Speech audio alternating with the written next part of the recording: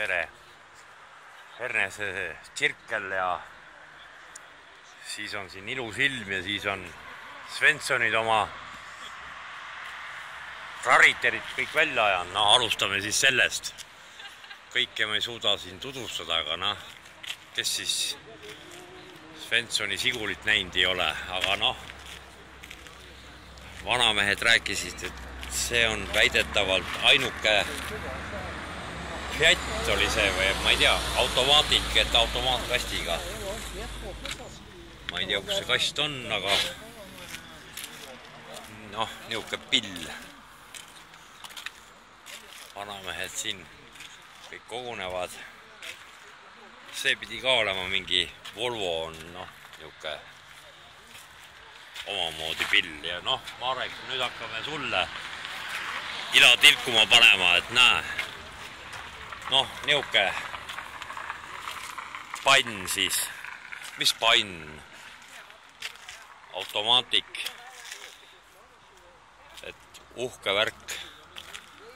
ka pidi mingi haruldus olema vanamees siin kohalik ütles, et just see stange on nüüd väga eksklusiivne, et on niisugune lisastange ja siis need tuled, et on sellise Ameerika versiooniga. pidi ka siga miljon kulda maksma need tuled. ja noh, mingi Norra mingi uunikumide võitja. et noh, väga ilus ja siis on siin veel üks natukene ülbe MB siis. noh, ka klikiaegne, aga ilus nagu uus, lakutud, klanitud. noh, selline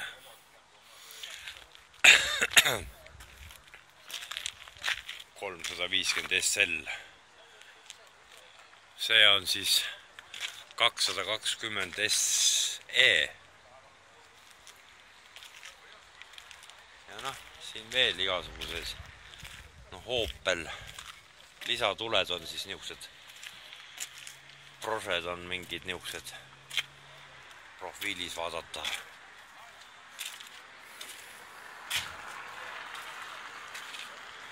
Noh, Fiat ka, vot see Fiati vanamees rääkiski ju, et selline küna. vot. Ja noh, BMW siis ka, mingi niisugune kopsik, Moskvitš. vot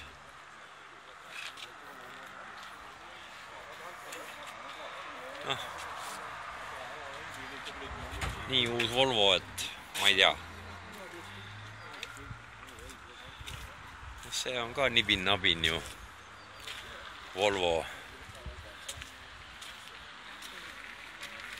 Et on niimoodi renoveeritud, uus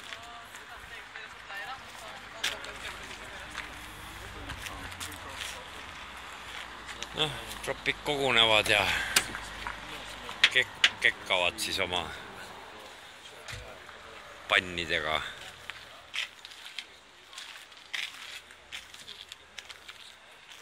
et jah. Aga jah, ei, see on küll ülbe pann siin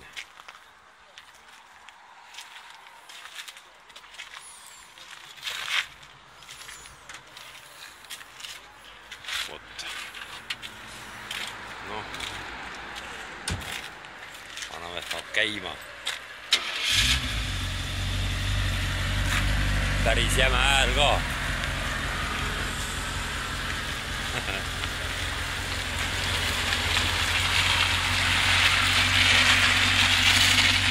I would say.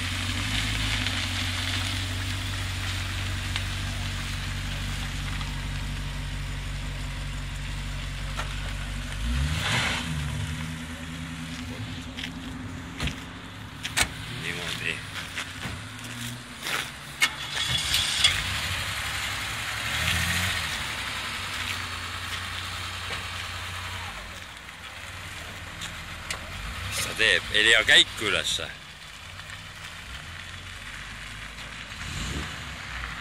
ah, panevad leegid. õigel ajal jõudsid siis